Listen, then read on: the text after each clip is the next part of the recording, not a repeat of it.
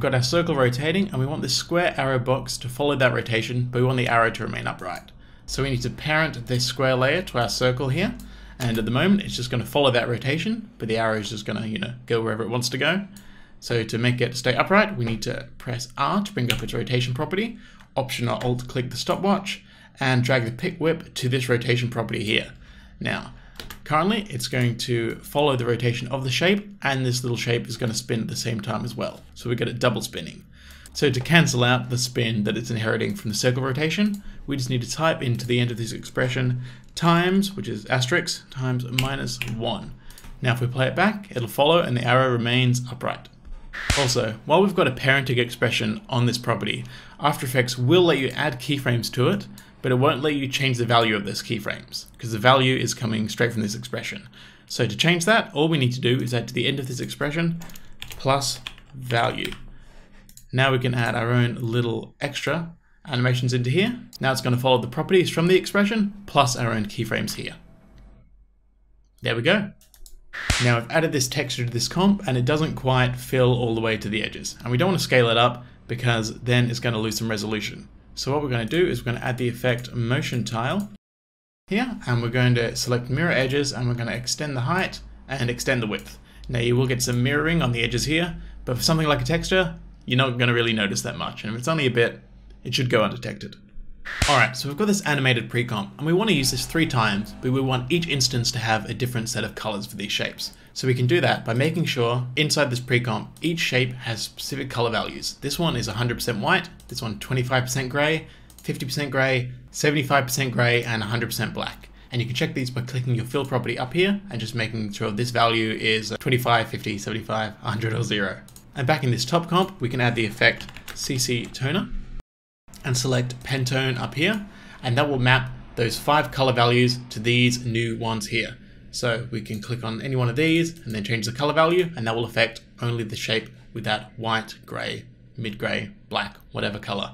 So we can copy that effect, paste that on another instance of that comp, and we can just start eyedropping other colors and change the colors of each one of these.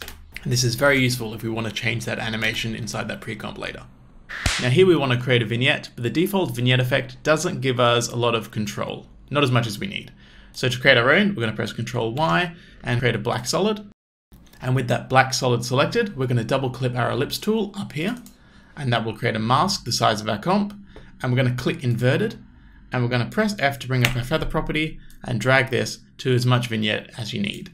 And if you double click that mask, you can press Control Shift and drag it up to increase the size. And from here, we can also add more anchor point with our pen tool and adjust the shape. And we can even add a turbulent displace layer and to give it some more sort of grit and grain and some, you know, more variation.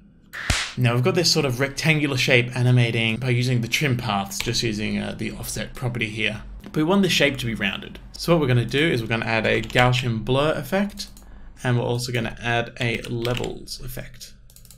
Now we're just going to bring the blurriness up a little to around maybe 20. And with our levels, we're going to change the channel from RGB to alpha. And we're going to drag these two handles very close to the center to crush that alpha channel to make it nice and rounded.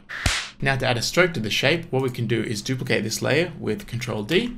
And on the bottom layer, we can change this stroke here to uh, the color that we want, which is white. And we're going to add the effect Simple Choker.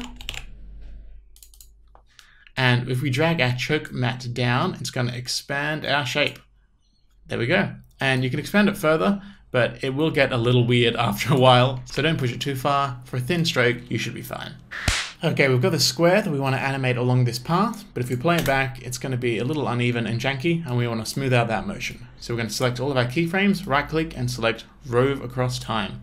And that's going to automatically put these middle keyframes where it thinks they should be. And now, We've got a smooth motion. We've got our shapes in our design here, and it's all looking a bit too smooth and clean for us at the moment. So we want to add some a little bit of grit and texture to these shapes. So to do that, we're going to press Ctrl Alt Y to create a new adjustment layer, and we're going to add the effect Turbulent Displace. And we're going to change the amount to 30, the size to 2, and let's change the complexity to 5. So if we zoom in, we can see all the edges have this nice, just little bit of roughness that just adds a little bit of grit. It just makes it look a bit more hand-drawn. Alright, now we've got this animation here. We've got all of our keyframes all doing different things at different times with the position and rotation across these shapes. And we need to make this animation a little bit slower. So instead of dragging all the keyframes and trying to retime it manually, what you can do is just select all of these keyframes and while holding Alt, if you select the very first or the very last keyframe, you can just drag it out and it will maintain the proportions of the timing between these. So you can make it much quicker. Or we can hold Alt and drag and make it much slower.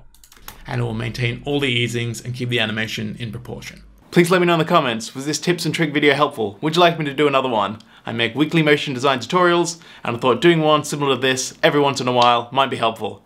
Uh, don't forget to subscribe, hit that bell icon, share, comment, and like. Thank you so much. I'll see you next week.